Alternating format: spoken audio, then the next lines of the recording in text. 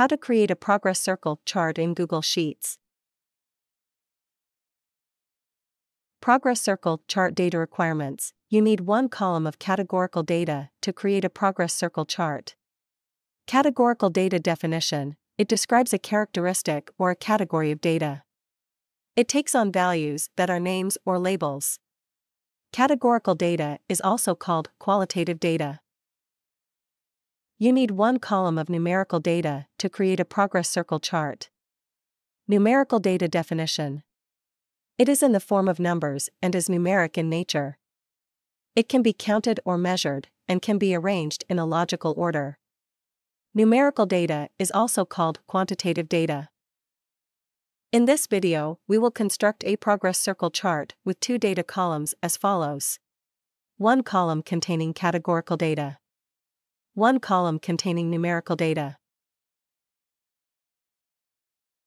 Important, Progress Circle chart will only accept data in columns as shown in the image on the left. Click on the Extensions menu. Install Chart Expo add-on, enhance your charting experience with advanced charts. An add-on is software that adds new features into Google Sheets. How to install Chart Expo video is available in iCard, located in top right corner. Video link is also provided in the description below, please click on more. Once the Chart Expo add-on is installed, it should display an extensions menu. Click on the Charts, Graphs and Visualizations by Chart Expo. Click on Open sub-menu.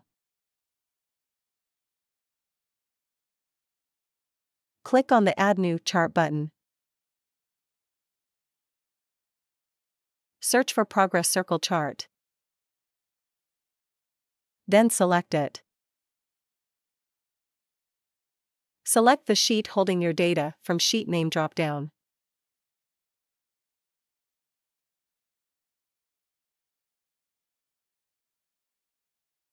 Note, Header Row checkbox is checked because data contains header row. Select Metric Progress.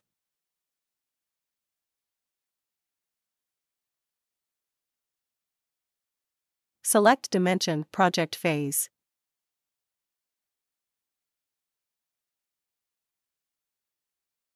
You can set row range using the slider, or manually set value in Start Row and End Row text boxes. Currently, we will select all rows. When all required selections have been made, the Create Chart button will become active. Click on the Create Chart button. Progress Circle chart is created successfully. Click on the Edit Chart button.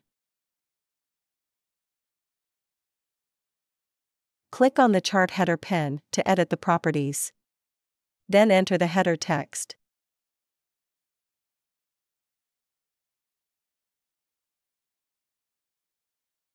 Make sure you have turned on Show Property before you click the Apply button.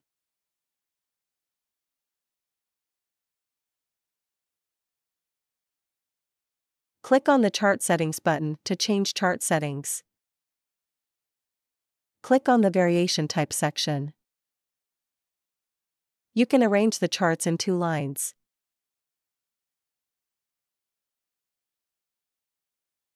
You can reset arrangement of charts to default that is one line.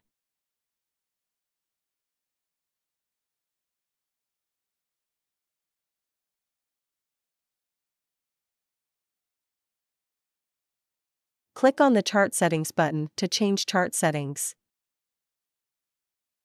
Click on the Variation Type section. You can select any type of chart variation.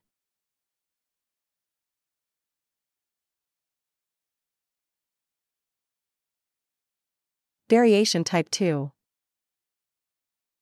Variation Type 3 Variation Type 4 Variation Type 5.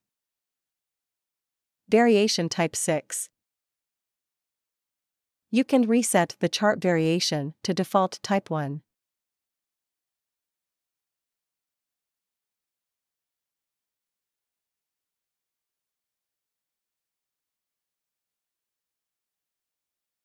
Click on the Chart Data Point Properties pen to edit the properties. Click on the remaining color section to change the color.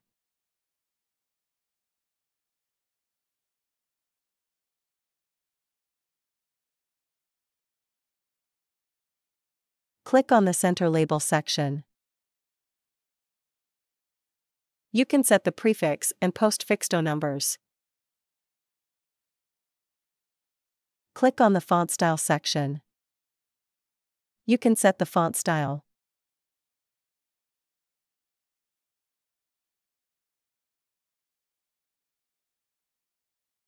You can reset the remaining color.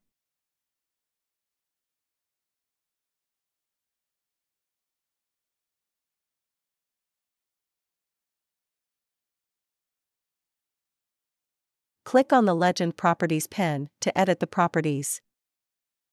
Click on the Legend section. You can show or hide legend. You can set the dock. You can set the legend alignment. Click on the box section. You can change the color. Click on the Save button. Click on the Export button to export chart in JPG, PNG, SVG, or PDF.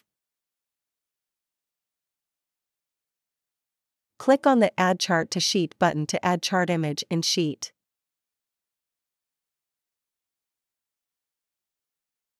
We appreciate your business, thank you. Please remember to subscribe to our channel.